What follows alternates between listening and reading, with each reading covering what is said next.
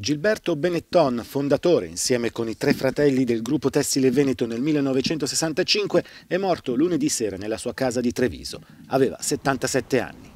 Gilberto, che gestiva la finanza dell'azienda, è stato uno dei fautori dell'innovazione dei metodi di produzione del gruppo, cambiandone le strategie di vendita e di marketing attraverso un nuovo linguaggio pubblicitario. È stato vicepresidente di Autogrill e Atlantia e di recente era finito al centro delle polemiche dopo il crollo del Ponte Morandi a Genova.